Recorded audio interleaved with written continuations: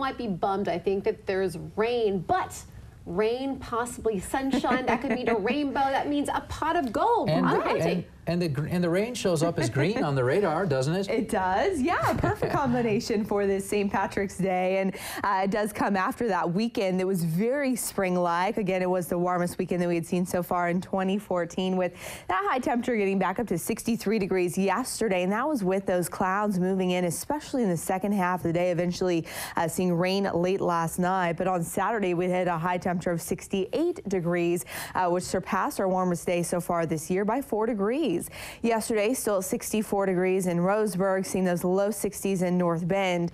The warmest spot was Medford at 73 degrees yesterday, but even central and eastern Oregon enjoying uh, the warm weather, early spring-like conditions with highs in the upper 60s in Bend, 70 yesterday in Burns. And compare that to, again, just 12 hours later this morning, and now Bend is seeing snow flurries and temperatures down into the low 30s. That snow level has dropped down to 1,500 feet as a strong cold front moved in late last night. We started to see that rain here across western Oregon around 9 o'clock and then saw some heavy rain all the way through about midnight.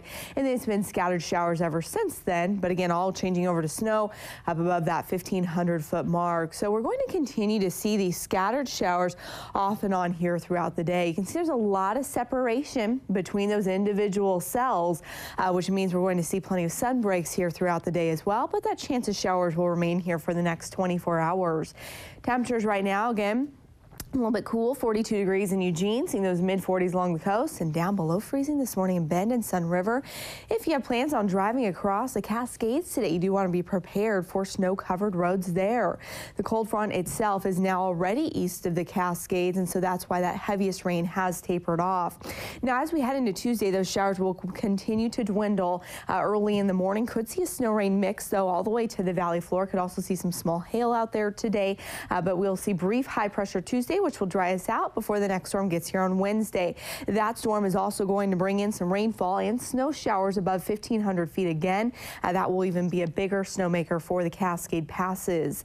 As for the next 24 hours, you can see right here on Stormcast, our computer model, again, seeing periods of dry conditions with those scattered showers and then seeing all snow showers across, uh, again, the elevations above 1,500 feet.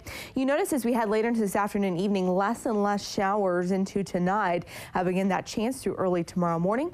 And then we'll see mostly sunny, dry conditions for Tuesday afternoon before that next storm comes rolling in on Wednesday.